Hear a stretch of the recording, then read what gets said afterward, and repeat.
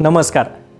तुम्ही जर happiest man in the world किंवा जगातली सर्वात आनंदी व्यक्ती कोण असं जर गुगल बाबाला विचारलं तर मॅथ्यू रिकर्ड हेच नाव पहिल्या नंबरवर येणार आहे. कोण आहे हा माणूस आणि त्याच्या हाती आयुष्याची अशी कोणती जडीबुटी लागली आहे की हा भाई एवढा आनंदी बनू शकला आहे आणि ती जडीबुटी आपल्याला मिळेल का? तर सांगतो. नमस्कार मी अमोल आणि आपण पाहताय ॲग्रो वन डिजिटल आयुष्याच्या सत्तरीत असलेले हे आजोबा मूळचे फ्रान्सचे आहेत. ते बौद्ध भिक्खू आहेत.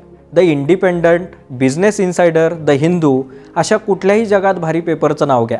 आजोबांवरती लेख लिहून आलेलं सापडेल. टेट टॉक आणि अजून बरंच काय काय. व्हिडिओ पण आहेत त्यांचे. तुम्ही म्हणाल नमनाला घडावर तेल नको. डायरेक्ट गोष्ट सांगा. बरं सांगतो. तर मॅथ्यू रिकर्ड यांनी बारा वर्ष चाललेल्या एका प्रयोगात भाग घेतला. अमेरिकेतलं विस्कॉन्सिन विद्यापीठ.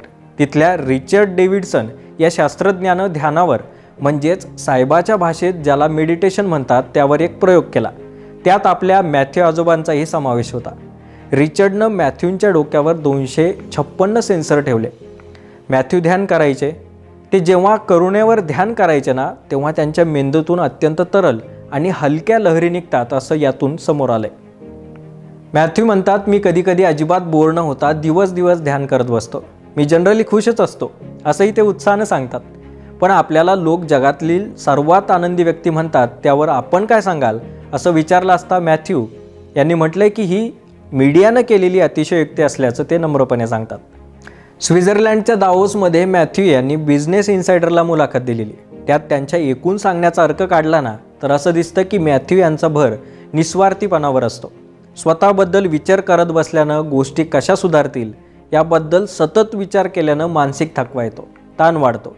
आणि सरते शेवटी माणूस दुःखात ढकलला जातो. मग काय करावं? तर मॅथ्यू यांच्या मते ज्यांना आनंदी राहायचं आहे ना त्यांनी परोपकारी होण्यासाठी झटलं पाहिजे. यांना स्वतःला तर बरं वाटेलच पण इतर लोकांनाही तुम्ही आवडायला लागाल तुम्ही म्हणताल इस मरती मारती दुनिया में असलो परोपकारी वगैरे होऊन चालतंय होय. तर मॅथ्यू तेही मान्य करतात.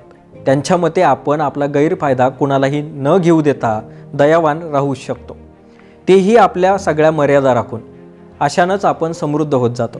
त्याचाच पॉझिटिव्ह इफेक्ट आपल्या शरीरावर होत जातो. लोक तुमच्याकडे वेगळ्या नजरेनं पाहायला लागतात.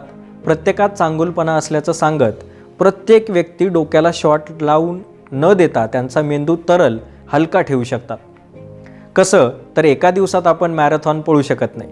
त्यासाठी ट्रेनिंग आणि प्रॅक्टिस करावीच लागते. त्यासाठी मॅथ्यू म्हणतात माझी आनंदी राहण्याची ट्रेनिंग आणि प्रॅक्टिस म्हणजे माझी ध्यानधारणा. आपण शरीराला ट्रेन करून फिट ठेवू शकतो. मग परोपकारी वृत्ती एकाग्रता भावनिक संतुलन आणि स्थितीनुसार लवचिक राहण्याची ताकद ही शिकली का जाऊ शकत नाही असं ते अगदी सहजपणे विचारतात.